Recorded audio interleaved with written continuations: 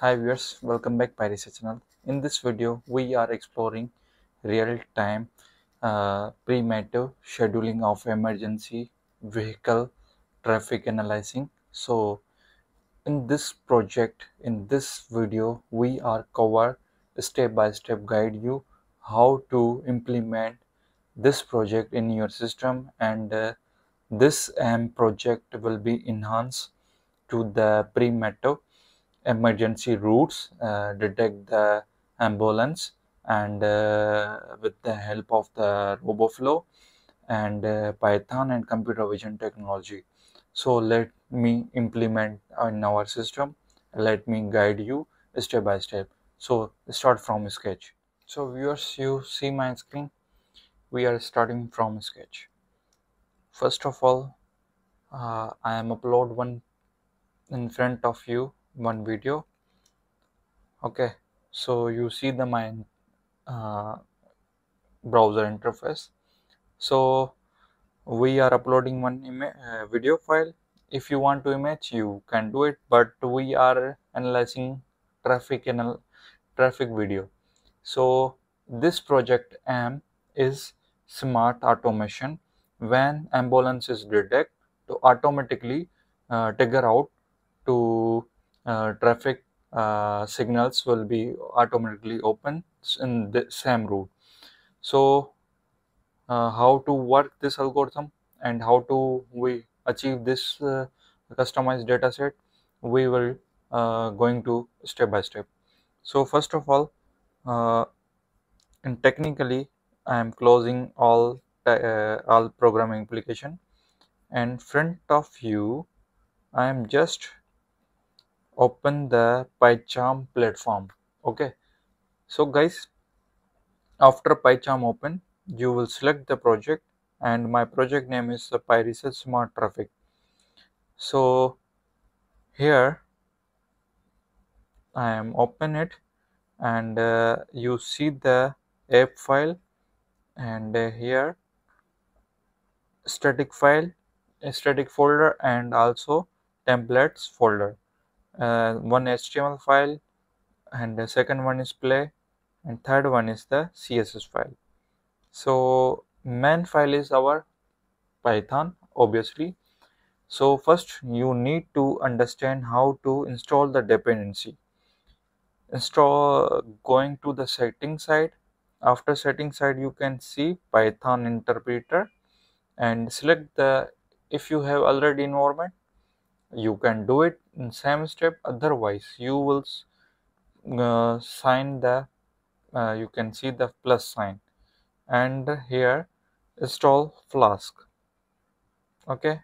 After install flask second one is roboflow. Okay? After you done this installation part roboflow then you go to uh, plus uh, ok icon. Okay this one close and ok and apply. Okay so here cv2 inference and we are all achieved the roboflow library. Now we are going to here uh, dataset side. How we implement this dataset let me show you. First go to the roboflow after you can see sign in. After sign in you will implement uh, let me show you api key first. First of all here this one setting api key just copy. Okay copy and paste here.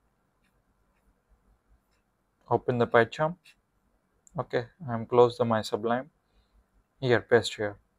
Okay after paste here the you can see we are here using the this type of data set ambulance 18 search it roboflow. So you will see the top of uh, ambulance data set is available but we are targeting this one okay i am already have the data set but I am going to step by step. So you can see that uh, ambulance dataset folder. Okay, this ambulance. So main is the our logic.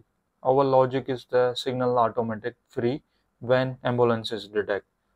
Means emergency side uh, automatically signal is open when uh, same route nearby signal will be past the uh, passing time of the ambulance. So uh, main target is to freely uh, automation and safe uh, traffic uh, roadside. Okay.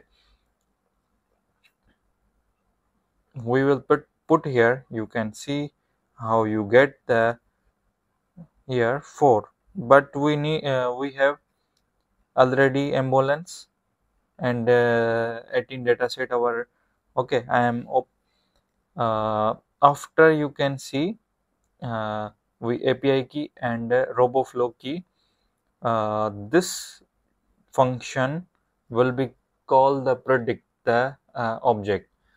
How can do it? So let me explain to you. First you need to understand frame per frame process we define the one class. After class we mention the model id after you can see we put the condition if prediction result to see the rectangle boxes and uh, x-axis y-axis width height will be in shape of uh, uh, rectangle boxes and uh, texting uh, rectangle box color okay and put the text okay. After you can see uh, we are returned to the all these frame per seconds. Okay. And now we will generate the video format. If you want to use the webcam we will do it. And uh, we are put the uh, one webcam function function also. Now here loop function. Okay. After loop function we are releasing all video frame per seconds. Okay so here and now we will call the html files also uh, css and uh, uh, html file.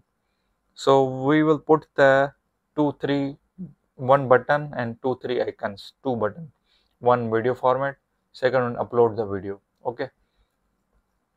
Upload the video and the video path okay?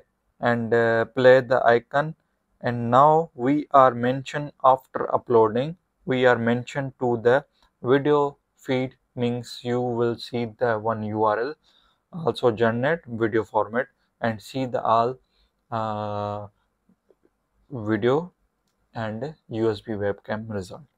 Okay so let me run this algorithm in front of you. I have already created the environment so I uh, uh, just press the running icon and explanation the code and dataset model how to fix.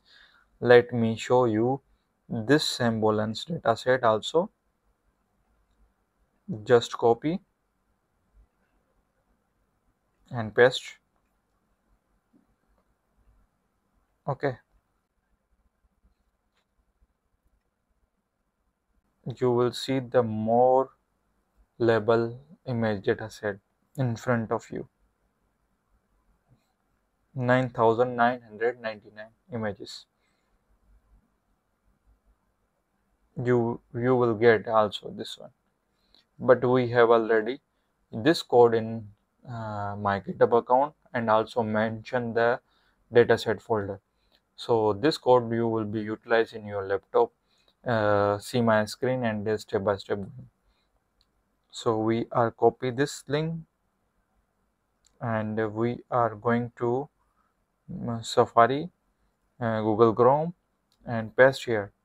You see the uh, this one button and this one uh, choosing file uploading file. Let me explain the code in detail in front of you uh, uploading setup and here in front of you uh, video feed means webcam. Okay? Your webcam. Okay? And here choose. Now this time we will choose the video file and upload. After upload you will wait one two seconds uh, for the processing. Now whole project query means uh, objective. When our ambulance is detected uh, in our web api uh, so when road nearby signal will be free. This is the automation how we implement the computer vision logic in this project. We will use the custom dataset in front of you from the RoboFlow and we will detect the easily this project. This project name is the smart traffic. So this is the whole logic uh, need to understand uh, step by step. So uh, we will creating more informational videos. Uh, keep in touch. See you in next video